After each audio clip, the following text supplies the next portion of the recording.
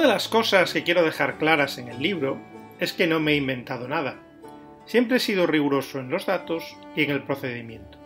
Por eso quería explicaros brevemente cómo pude averiguar la hora y la fecha aproximada en la que acontecieron los hechos que Velázquez refleja en las Meninas. Para saber las dimensiones de la sala me basé en cálculos anteriores de otros investigadores. Se conserva de la habitación uno de los cuadros que vemos al fondo. Como conocemos sus dimensiones, se calculan las de la pared por una simple regla de tres.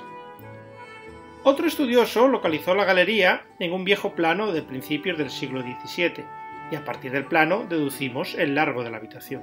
El Palacio Real y el antiguo Alcázar comparten los mismos bastimentos, así que también conozco su ubicación geográfica exacta con un pequeño margen de error.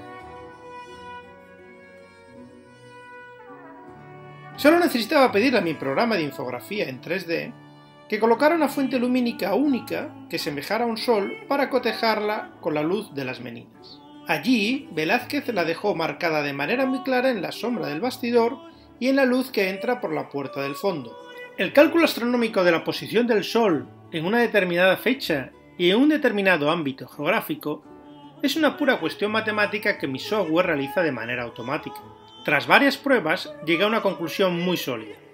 La luz de las meninas coincide con las que recrea mi programa de 3D a las 12 del mediodía, hora solar, evidentemente. El propio cuadro nos da varias pistas. Una es la edad de la pequeña infanta Margarita, que los especialistas cifran en 4 o 5 años. Como nació en julio de 1651, estaríamos hablando de 1655 o 1656. Otro dato es el suelo.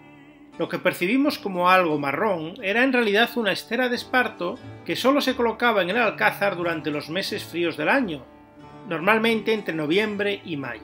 Finalmente, cotejando los datos de los cronistas de la época, las cartas personales del rey Felipe IV y otros archivos, podemos saber que los soberanos y Velázquez solo coincidieron en Madrid entre el 1 de diciembre de 1655 y el 16 de abril de 1656.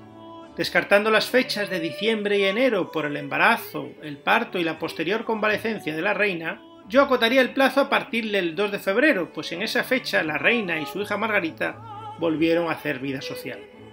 Las Meninas refleja, pues, un soleado día de invierno de 1656 a las 12 del mediodía.